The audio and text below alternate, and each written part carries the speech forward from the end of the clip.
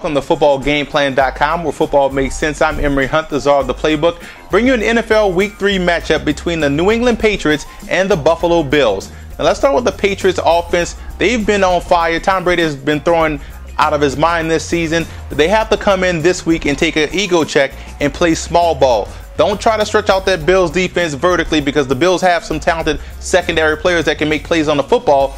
Play small ball, dictate the pace of the game, and I think they can control the tempo if they come out and play small ball instead of trying to stretch these guys out vertically. Also, you want to look at that first drive of the ball game can set the tone. It all depends on how you come out. If you come out fast paced, you you just ignited the Bills offense. They can also match point for point because they're a fast break offense as well.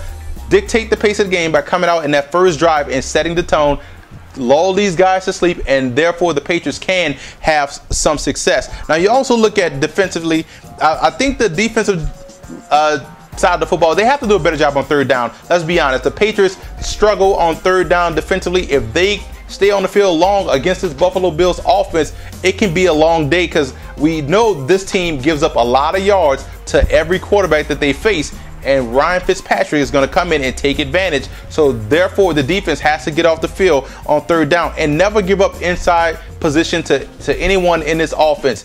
The Bills have some solid wide receivers that can get inside. If they get inside position, they effectively block out the defensive back, and it's just going to be a, a, a surgery down the football field with precision passes. The quick slant will kill you. Don't allow ups inside position against these wide receivers. Now, Buffalo comes in, outstanding game offensively. Let's talk about that offense.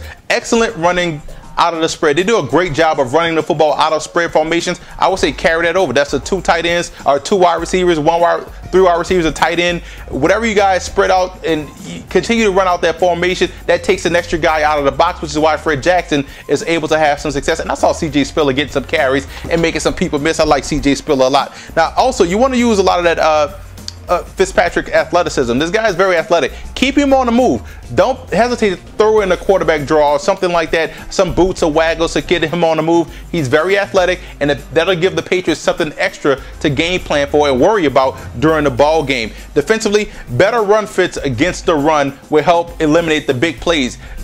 Quiet has kept the Bills did a great job of stopping the run against the Raiders. It was maybe one or two or three big plays on the ground that really you know skewed the numbers, but great run fits will help that out. If you if the Bills can able to can be able to stay in those run fits longer, they're going to do a great job against the run against the Patriots. Now look at the matchup: George Wilson and Jairus Byrd versus those tight ends. That's the key battle. They go to the tight ends a lot. Do the New England Patriots?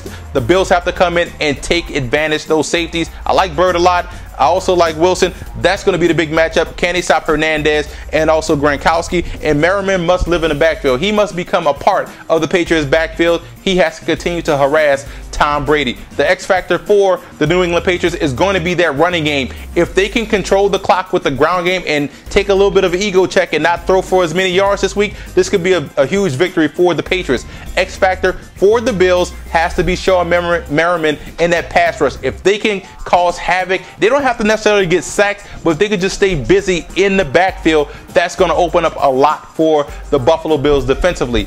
This is a tough game to call, conference game, playing in the college type atmosphere. I'm drinking the Kool-Aid. I'm going with the Buffalo Bills. The reason being their offense is explosive and they have the X factor and the defense can't get to the quarterback. I think Lights Out will have an outstanding ball game this week and a big coup for getting Marcell Dareus. He's already proven to be a huge dividends, paying huge dividends for the Buffalo Bills. For more NFL previews, visit footballgameplan.com slash NFL or visit our YouTube channel at youtube.com slash football game plan. And listen to the Football Game Plan radio show, which airs Saturdays, 11 a.m. Eastern Time at blogtalkradio.com slash football game plan.